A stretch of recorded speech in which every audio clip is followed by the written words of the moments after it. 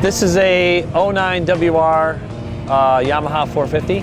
It's a WR, but it has a lot of YZ components on it. It's, it has a YZ swing arm, YZ subframe, YZ front end, uh, YZ tank, so it's, it's kind of a mixed breed between a YZ and a WR.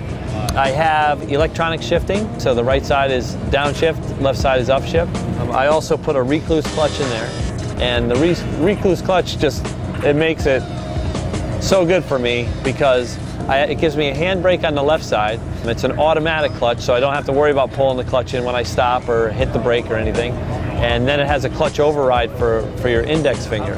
So it allows me to snap the clutch to get over jumps if I need to uh, or for starting and stuff like that. It works pretty good. And other than that, it's got a cage. My, my friend in Torrington, Fabulous, put, built this cage for me. Unfortunately, I have tested it and it works, so it makes me feel safer when I go out there. And then I also have a custom seat uh, with a, it swivels, and it also has a, an avalanche mountain bike shock, um, which gives me another two to three inches of travel, depending on the leverage ratio I pick.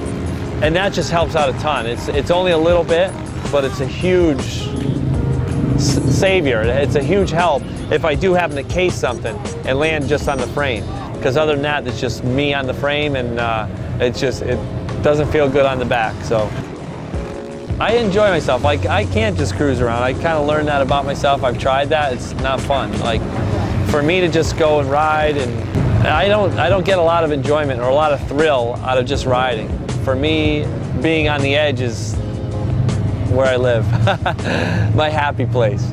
I got to be careful on the, the tighter ruddy corners are, are my uh, my biggest challenge. It's just you know you know the, those foot dabs. You know I just can't do that. That one little one little bit of a foot dab that I'd love to do, I just can't.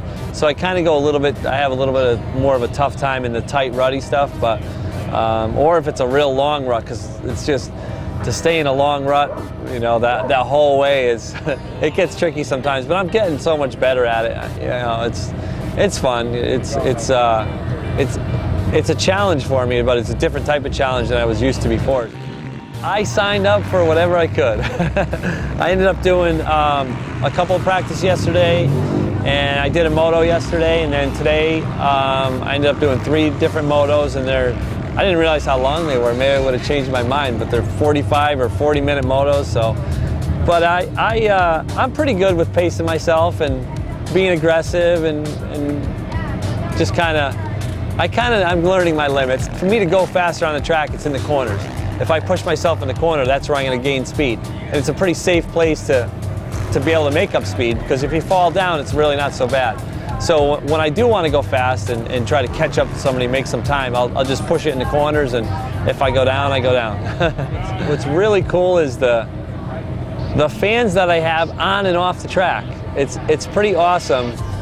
Guys passing me, you know, fast guys, big name guys, or maybe just experts or amateurs, and they go by me and they take the time to just yell or give me a fist pump or whatever. You know, they're just they're excited to see me out there. So it's, it's pretty cool to, to uh, I guess, I guess inspire. Like it's kind of a neat feeling to when somebody says that uh, I inspire them because it's really just me kind of living my life and uh, I, I could see what inspiration can do to somebody.